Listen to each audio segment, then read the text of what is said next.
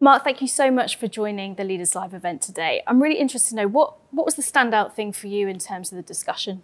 I think there were, there were two things. I think one's really positive. I think there was really deep consensus that hydrogen is not just a molecule, it's a system technology. We all came at it from different angles. We were all very sort of cognizant of the idea that hydrogen plays into the economy, that idea of a sustainable economy, a sustainable society. So I think there was really deep consensus about hydrogen as a system technology and that it's valuable and there's lots of opportunities.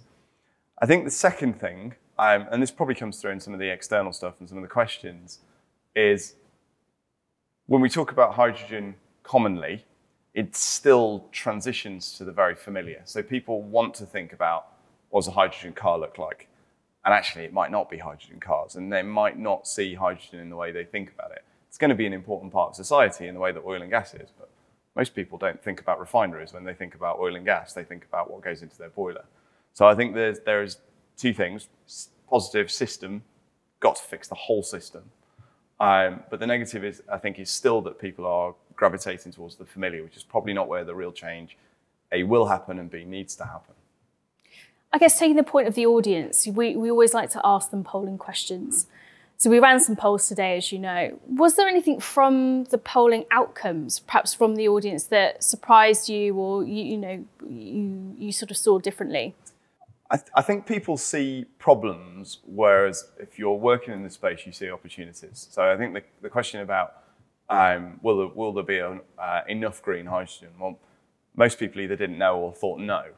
And it's probably, again, because they're not necessarily connecting the size of the opportunity. And when there is real opportunity, politicians and corporate leaders bring money and policy to bear. So I'm, I'm more relaxed about some of the things that I think the public are, are worried about.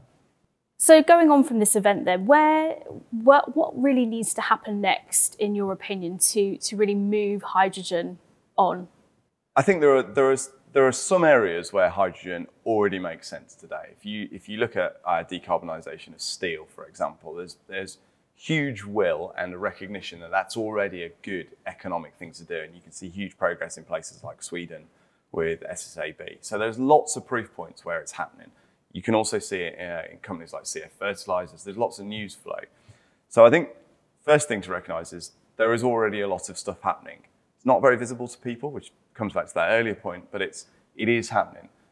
The next thing uh, needs to happen is we really need to start valuing the cost of the alternatives. Um, we talk about hydrogen being expensive, but actually when Florida's underwater because of global warming, that's also going to be quite expensive. And no one's quite ready to value some of that stuff yet. And that needs to happen quite quickly. Mark Selby from Ceres, thank you so much for joining us today. Thank you.